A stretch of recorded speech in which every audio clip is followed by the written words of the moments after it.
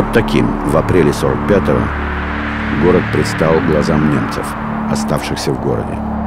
Центральная площадь Адольф Гитлер-Плац превратилась в груду развалин. Страх смерти отступал. Пришел голод. Ели лошадей, собак, кошек. Первоначальный шок и ужас проходили. Нужно было выживать, искать контакт с новым руководством города. В этот момент в городе проживало около 139 тысяч немецких граждан. А в это время в Потсдаме на конференции Большой Тройки решали судьбу Восточной Пруссии.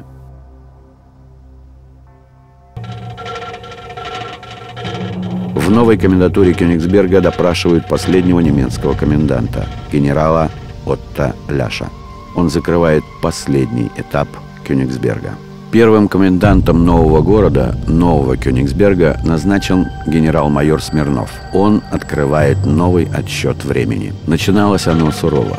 Голод, длительное пребывание в подвалах довели немецкое население до истощения. Начались эпидемии дизентерии, туберкулеза, тифа, которые уносили в месяц до пяти тысяч немцев. Чтобы выжить, надо было искать работу.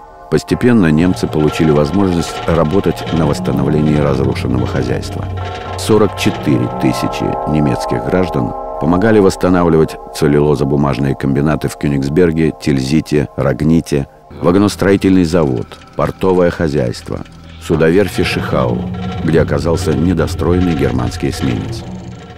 С июня 1946 года началось переселение народов Советского Союза в Восточную Пруссию – это стало окончательным знаком новой судьбы Пруссии, закладкой цикла на долгие годы. 4 июля указом Президиума Верховного Совета Советского Союза Кёнигсбергская область была переименована в Калининградскую – Приезжали с семьями, с родителями, детьми, стариками, получая жилье и хозяйство. До конца 46-го приехало более 200 тысяч переселенцев из России и Белоруссии. Как когда-то в 13 веке немецкие рыцари колонизировали Пруссию, Теперь русские переселенцы осваивали древнюю землю пруссов. Нашим дедам и отцам некогда было спорить. Нужно кормить страну, поднимать город из руин – создавать прочный тыл, ресурс, базу. Людям надо где-то жить. Стране нужны металл, дерево, бумага. Значит, строить производство, поднимать заводы, целлюлозно-бумажные комбинаты. Эти годы запомнятся упорным трудом, трудными победами, созидательным мощным движением вперед. Стране все больше требуется лес, строить, развивать химическую деревообрабатывающую промышленность. Получив незамерзающий порт, страна превратила его в морские ворота на западе Балтики. В Баренцево море, в Атлантику, к исландским берегам уходят первые экспедиции за сельдью. Залив Куришихав. Сюда приезжают переселенцы, опытные рыболовы с Черного, Белого морей, промыслов Каспия и Азова. Наконец, рыба и рыбные продукты становятся доступными. И так будет продолжаться до самого развала Советского Союза. В Тихий и Индийские океаны на промысел китов уходит мощная китобойная флотилия Юрий Долгорукий. В 80-е годы окончательно сложился неповторимый образ региона, как край моряков, рыбаков, трансатлантический мост к акваториям и портам всего мира, рыболовецким зонам трех океанов по обе стороны экватора. Также самая западная военно-морская база Советского Союза – но я пришел к такому выводу, что, посмотрев ваш фильм, что у нас первые серии переплетены причудливо, пока еще не сплавлены в одну нить. Три вида идентичности. Это региональная идентичность, это российская и это европейская. И в нашей истории нет никакой фальши, там нет никакого силикона. Здесь произошла органическая сплавка и наследие Иммануила Канта, то есть досоветский этап развития области, и советский период развития региона с его переселенцами, которые пытались по-своему преобразить этот трофей, добытый народами Советского Союза по итогам страшной войны, и постсоветское развитие Калининградской области. И наша история, история нашего региона – она не менее богата, чем история северной столицы, чем история Москвы, чем история любого другого российского города. Поздравляю вас с Днем военно-морского флота. Этот праздник особо отмечается на берегах Балтики. Ведь многие славные традиции нашего флота связаны именно с моряками-балтийцами.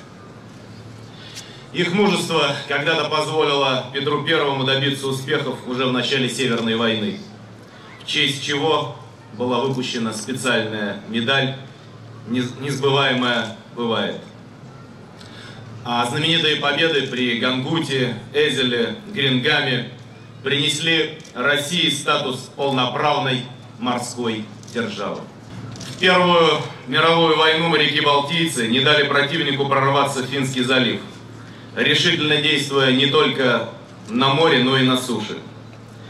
И совершенно особенное место в истории флота занимают сражения на подступах к Ленинграду, его героическая оборона во время Великой Отечественной войны.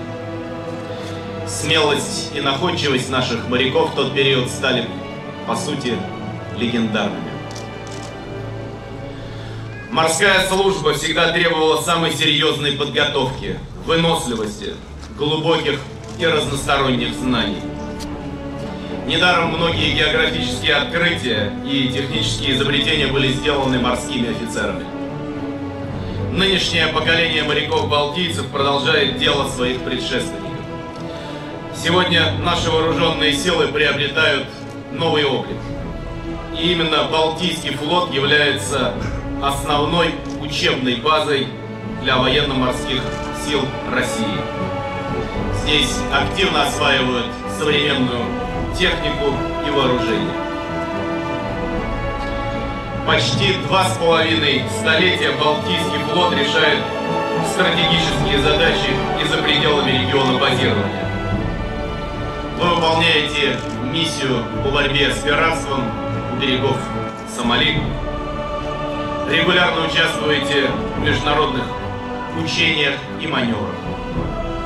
Военно-морское присутствие России в Мировом океане укрепило авторитет нашей страны как великой морской державы и подтвердило высокую боеспособность ее военно-морского флота.